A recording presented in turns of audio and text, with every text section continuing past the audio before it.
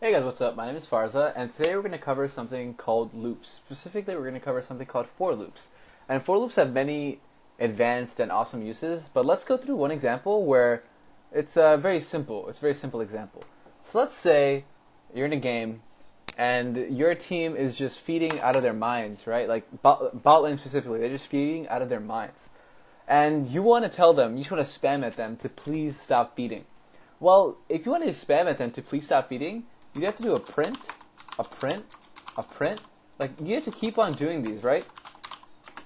And do you see how this is redundant and it's not very necessary and there should be a better way to just other than like copying and pasting the same line five times?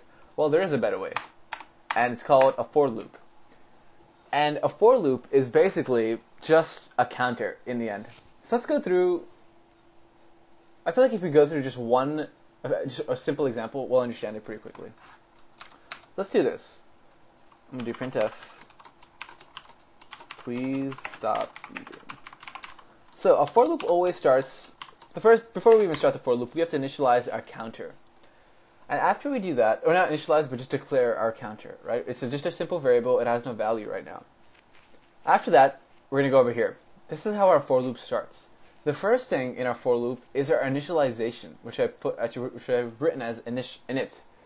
So the initialization is going to set counter equal to zero. And the most important part to understand about the initialization is that it only happens one time.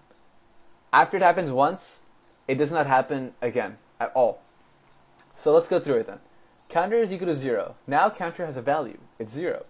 The next thing we do is, if you look at this this little block I've written here, I can number it actually. Two. You know what? Let's just set uh, the initialization as step zero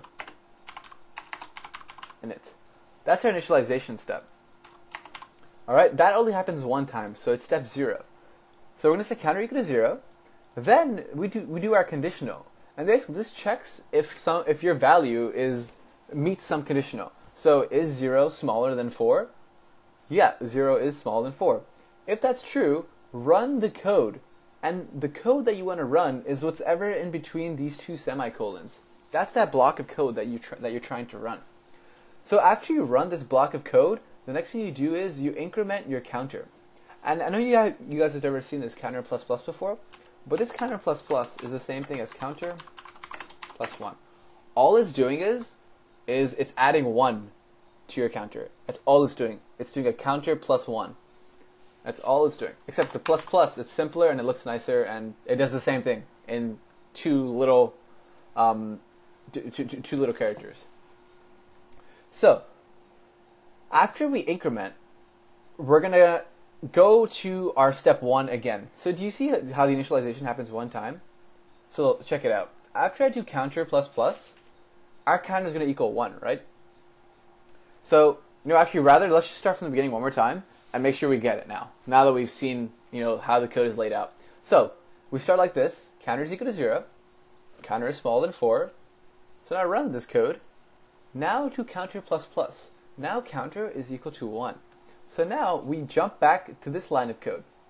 Is one is four bigger than one? Yes, it is. If so, run this code, and then jump back here. So now counter is equal to two. If now we jump back over here, right? It keeps on happening. It's a loop. Is uh is four bigger than two? Yes, it is. If so, print this out. Now we jump back here. Counter is equal to three. Is three is four bigger than three? Yes, it is. If so, print this out. Now we're finally at the ending. Now, since we come back come back here, counter plus plus, counter is now counter will now be four. So now when we come back here, 4 is not smaller than 4. 4, 4 is not bigger than 4. 4 is equal to 4. So at this point, our for loop will terminate. And nothing, it'll just cancel everything out. It'll pretend like nothing else exists, right? It'll terminate right there. And let's see it in action. Ooh, actually, let me do something that I haven't shown you guys before. It's called a backslash n. And all it does is it skips a line after it prints something. So you know a piece of paper, you write something, then you skip a line, then you write something, then you skip a line. Just imagine it like that. It's just very simple. It's skipping a line after you print something. Let's build and run. So it prints out please stop feeding four times, which is exactly what we wanted, right? Um, and an important thing to know, you know, of course, for loops have many uses, but we can put we can do whatever we want in this block of code, right? It doesn't have to just be a print statement. It could, you know, just for fun, let's put another print statement. Let's just put they won't stop feeding.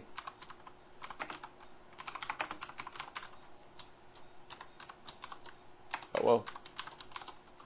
So now you know if you run it, it'll print it'll print them both like together. So please stop feeding, they won't stop feeding. Please stop feeding, they won't stop feeding. the circle, it's, it's elo hell, man, I swear. But yeah, that's the basics of the for loop, and as long as you understand the basics, we can you know move on to much more complicated examples, which are way funner than just printing stuff out to our screen. But yeah, understanding this simple for loop is uh, pretty important. And the next episode, I'm going to cover something called a while loop, which has syntax that is a little easier, but uh, is, is, a little, is a little easier to understand. Anyways, we'll cover that next video. We'll cover while loops next video. And until then, I'll see you, I'll see you later.